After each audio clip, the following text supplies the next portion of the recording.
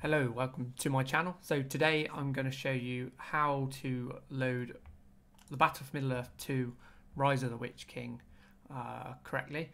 So when you first install it, you'll have the issue where it will crash on startup. Now this is due to when the game loads for the first time, it's trying to create these files in a certain folder in your app data, but for some reason with newer Windows, it, it doesn't allow it to, to happen. So let's go ahead and close the game. So there's the crash. Okay, so I've left a link in the description to the file you need to download. And it's this startup fixer for Battle for Middle-earth 2. I'm going to click yes. Select Rise of the Witch King. Yes. Now you can do this manually by going into the roaming and I'll show you quickly what I mean. So we go this PC,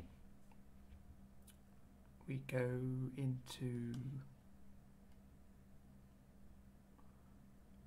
C drive, users, your user accounts, app data and roaming, and then Battle for Middle Earth Rise of the Witch King.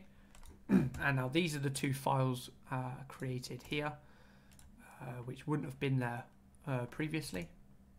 Now to access this roaming folder, you need to enable hidden files. So if we go show hidden files and uh, drives, we need to click this one here and apply. So now we should be allowed to open the game up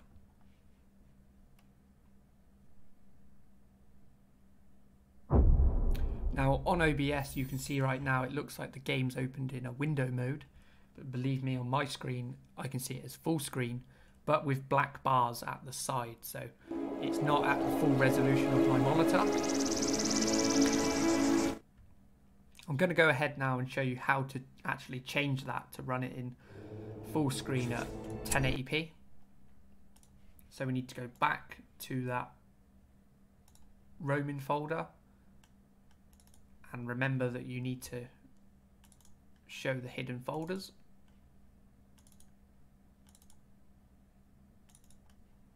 We need to open this options file and where it says resolution we need to change this to 1920 by 1080 click save and now when we load the game up should load in full screen or full resolution to whatever monitor you have. If obviously, if you have a higher resolution monitor, you need to change that 1920 by 1080 to, to the native resolution of your monitor.